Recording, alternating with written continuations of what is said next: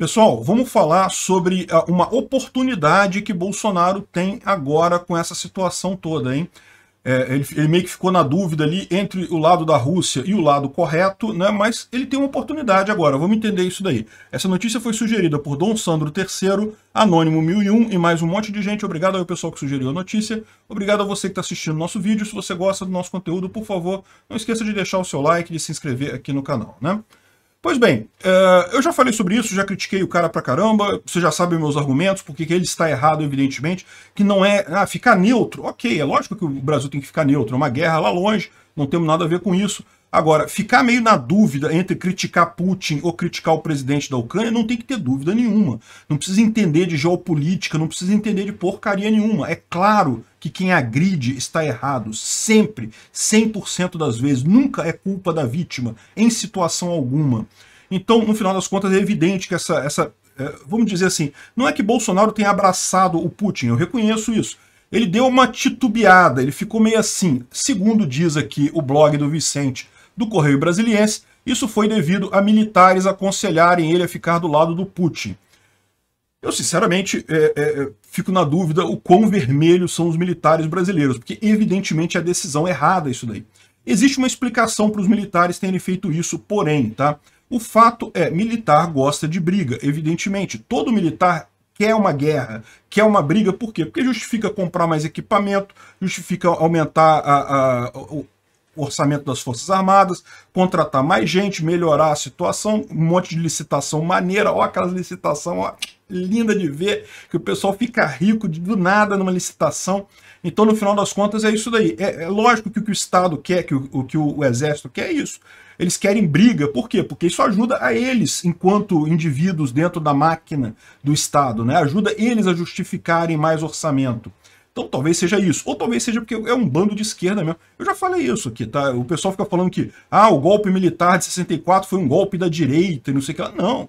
As forças militares brasileiras é todo mundo de esquerda naquela porra. Tirando uma pessoa ou outra, é todo mundo de esquerda ali. É que é centro-esquerda, né? É o que o pessoal tinha na época, lá em 64, quando os Estados Unidos quis, queriam evitar o comunismo no Brasil. Isso é lógico que é verdade, é lógico que teve ajuda americana eh, no golpe de 64 aqui, ninguém tem dúvida disso.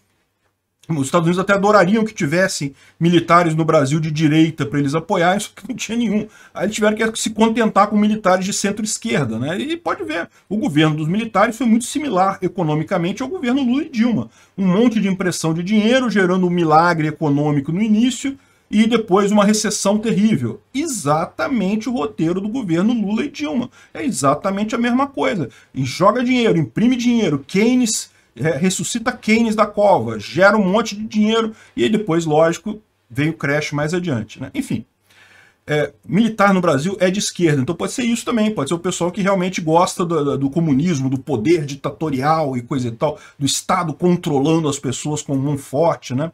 E lógico, tem aquela eterna paranoia brasileira sobre a Amazônia, não sei o que lá.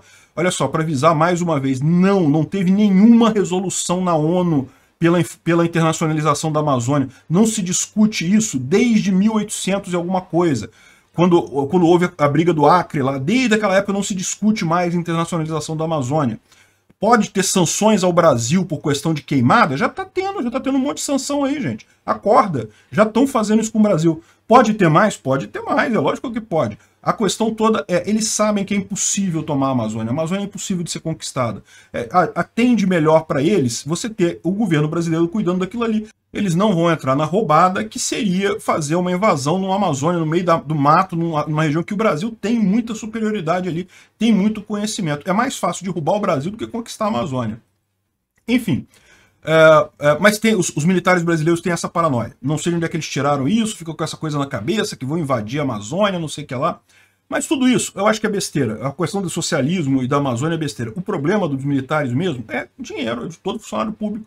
Quer mais dinheiro, quer, quer mais licitação. Vamos comprar aquele jatinho lá. Hum, que beleza, em licitação de jatinho, ó, que beleza. É isso que eles querem no final das contas. É o que quer todo político. Todo funcionário público também.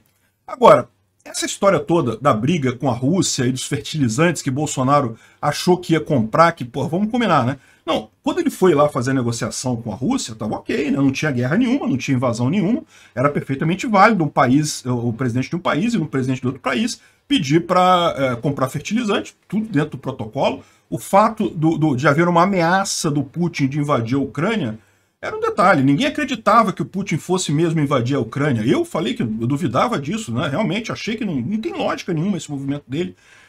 Enfim, no momento que houve a invasão, esquece fertilizante, esquece economia russa, acabou a economia russa, olha o que está acontecendo lá, o rublo não vale mais nada, ninguém quer fazer negócio com a Rússia mais, os caras foram alijados nisso daí.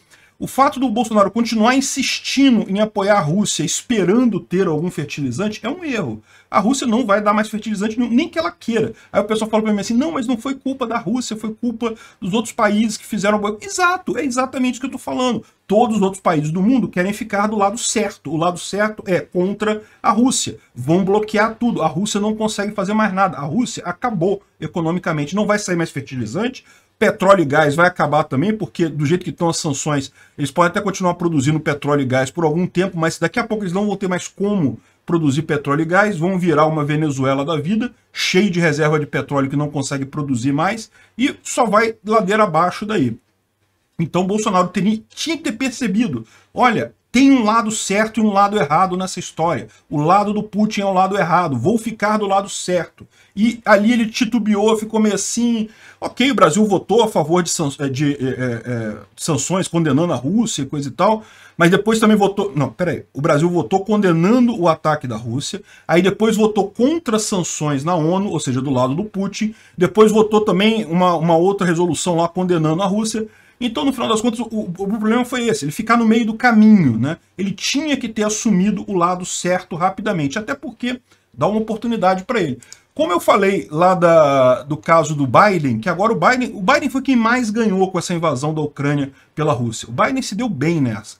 Porque ele vai poder usar agora essa ameaça ao mundo todo. Tá todo mundo agora com medo de uma bomba nuclear, do maluco do Putin apertar a porra do botão. Tá todo mundo no mundo com medo disso. Então ele vai poder usar isso agora para aumentar é, orçamento militar, para aumentar um monte de coisa, cobrar mais imposto, pode fazer o que ele quiser agora com a desculpa de vamos nos proteger do Putin. O Bolsonaro tem essa oportunidade também. Se ele começar a criticar o Putin agora, ele pode rapidamente falar, lembrar a todos, olha, o Brasil tem que lutar contra a Rússia. Independente de quem ganha essa guerra, nós temos que nos tornar independentes em potássio, fertilizante, o que quer que seja, e se tem alguma lei de terra indígena que proíbe isso, é a hora da gente acabar com esse negócio. Veja, não é agredir a propriedade dos índios. O índio é proprietário da terra, ele tem o direito, ele tem a última palavra sobre o que vai ser feito ali naquela terra. Mas hoje existem leis que proíbem a exploração mineral em terras indígenas. Mesmo que o índio queira, tá? se o índio quiser explorar minerais nas terras, eles não podem.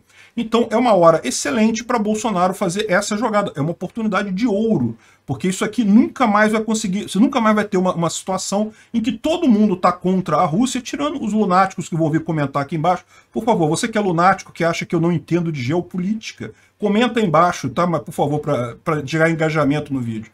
Então Bolsonaro agora tem a faca e o queijo para fazer passar essa lei que ele estava querendo passar. Aproveita a oportunidade. O Putin fez uma merda, vai sacanear o povo russo. Lamento muito pelo povo russo, vai sofrer as consequências desse ato idiota do presidente deles. O melhor que o Bolsonaro pode fazer é justamente aproveitar isso para criar leis. Fala lá no Congresso, olha só, a gente está numa ameaça. Repara a, loucura que é um maluco com acesso a um botão atômico, que loucura que ele pode fazer temos que, nos, que ficar independentes do, uh, do potássio russo, precisamos de licença para exploração mineral em terras, sempre com a, o consentimento dos índios e a devida reparação a eles. Tá?